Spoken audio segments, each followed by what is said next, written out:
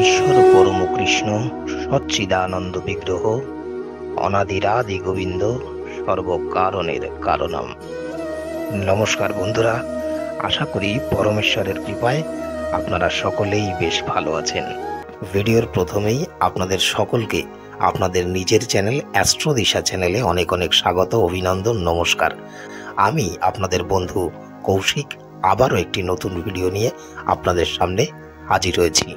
আজকের এই উপস্থাপনার মধ্যে দিয়ে আপনি জানতে পারবেন গ্রহ নক্ষত্রের অবস্থানে সপ্তাহে আপনার রাশিতে কি ফলাফল প্রদান করতে চলেছে, কি প্রতিকার করলে আমরা ভালো থাকতে পারব, কি আমাদের শুভ সংখ্যা, কি আমাদের শুভ দিক, কি আমাদের শুভ রং আর কি বা আমাদের শুভ রত্ন, একটু ভালো থাকতে গেলে কি করতে পারি আমরা? তো চলুন শুরু করা যাক আজকের উপস্থাপনা আপনার রাশির সাপ্তাহিক রাশিফল।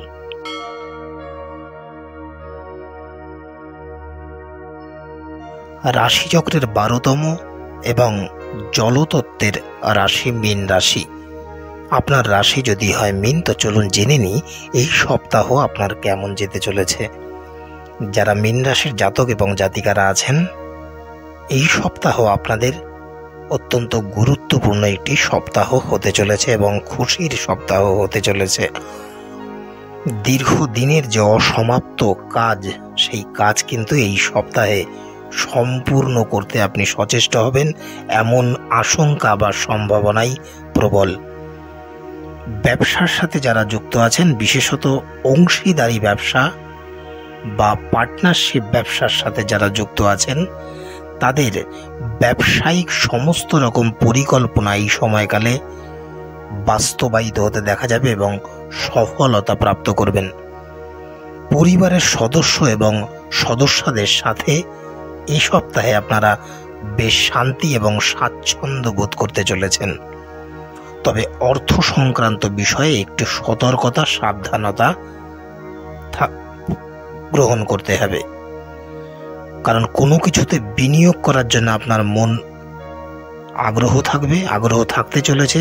তবে কোনো বিনিয়োগ করার আগে সাবধানে চিন্তা ভাবনা করে সঠিক পথে বিনিয়োগ করলেই আপনি কিন্তু আর্থিক সুবিধা এই সপ্তাহে আপনার জন্য ছিনিয়ে আনতে পারবেন। তবে অবশ্যই বিশেষজ্ঞর পরামর্শ গ্রহণ করে তারপরেই যে কোনো বিনিয়োগে রাজি হন বা যুক্ত হন। যদি বাইরে ভ্রমণের কোনো পরিকল্পনা থাকে, তাহলে বলব এই সপ্তাহে সেই ভ্রমণ এড়িয়ে যাওয়া বা সেই ভ্রমণ থেকে বিরত থাকাই আপনার জন্য শুভপ্রদ। না হলে ভ্রমণে কোনো সমস্যার সৃষ্টি হলেও হতে পারে ছোটোখাটো চোটাঘাত লাগার সম্ভাবনা রয়েছে এবং কোনো অকারণে অযাচিতভাবে কোনো বাধাপ্রাপ্ত হলেও হতে পারেন। স্বাস্থ্যের ক্ষেত্রেও খানিকটা যত্নবান আপনাকে এই সপ্তাহে হতে হবে যারা মীন রাশির জাতক জাতিকারা আছেন। যদিও এই সপ্তাহের আবহাওয়া বা কোনো ভ্রমণের যোগ বা আপনার আবহাওয়া পরিবর্তনের সাথে সাথে কোথাও যাওয়া, এটি আপনার জন্য অত্যন্ত আনন্দদায়ক হতে চলেছে। এই সপ্তাহে কাজের প্রতি মনোযোগ কিন্তু বিশেষ থাকবে না বললেই চলে আপনার প্রিয় মানুষ। প্রেমের সম্পর্কে থাকলে আপনার প্রেমিক বা প্রেমিকা। দাম্পত্য সম্পর্কে থাকলে আপনার স্বামী অথবা স্ত্রীর সাথে বেশিরভাগ সময়টাই রোমান্সের মধ্যে দিয়ে কাটতে চলেছে। এমনকি পরিবারের সদস্যরাও বিভিন্ন শুভ কাজে এই সময়কালে অংশগ্রহণ করতে দেখা যাবে। তাই যে কারণের জন্য এই সপ্তাহটি বেশ আনন্দের সাথেই কাটতে চলেছে মীন রাশির জাতক জাতিকাদের। উপার্জনের পথ, আয়ের পথ এই সপ্তাহে সাবলীল থাকতে চলেছে। পারিবারিক ক্ষেত্রে পরিবার ভাগ্য কিন্তু মধ্যম প্রকার। তাই একটু সচেতন এবং সতর্ক থাকতে হবে। সম্পর্কের দিক থেকে সপ্তাহের প্রথম দিকে সম্পর্ক বেশ ভালো থাকবে, তবে শেষের দিকে কোনো বিবাদ সংঘটিত হলেও হতে পারে। পেশাগত ক্ষেত্রে জীবিকা ক্ষেত্র বেশ আনন্দময় থাকতে চলেছে, যে কারণের জন্য আপনি প্রত্যেকটা কাজ সময়ের মধ্যে সম্পূর্ণ করতেও সক্ষম হবেন। দীর্ঘদিন ধরে যদি কোনো সম্পত্তি কেনা বেচার বিষয়ে ভাবছেন, এই সময়টা কিন্তু অত্যন্ত শুভ। এই সময় আপনি নতুন সম্পত্তি ক্রয় বা বিক্রয় করলেও করতে পারেন। তবে যানবাহন চড়ার সময় এবং চালানোর সময় অতিরিক্ত সতর্ক থাকুন। চোখ কান খোলা রেখে চলুন। না হলে কিন্তু কোনো ছোটোখাটো বিপদ আপদ ঘটার একটা সম্ভাবনা আছে।